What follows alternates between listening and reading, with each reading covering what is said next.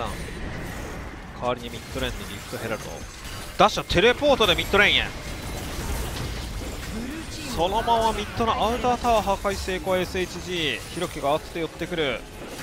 SHG としては。グレイシャルプリズンはフラッシュアウトですプランク。いやこれでドラゴンステル判断はなくなりました。エンゲージしていいですね。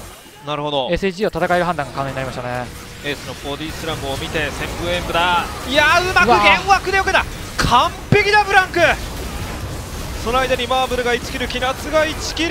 タル連鎖でトリプルキルはキナツ。あのタイミング SHG としてはそのミッドでヘラルドを栄唱してタワーを破壊してなおかつ木野選手がトップのファーストを殴っている状況だったのでドラゴンステル判断というのも可能だったんですがここで弘樹選手がエンゲージしてきたのでもうこれで戦える状況になるという判断でしたね。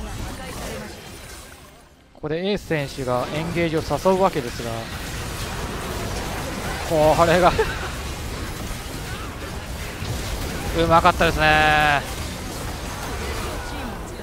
ラカンのアルティメットザダブルよけだいや普通合わせますよそれは。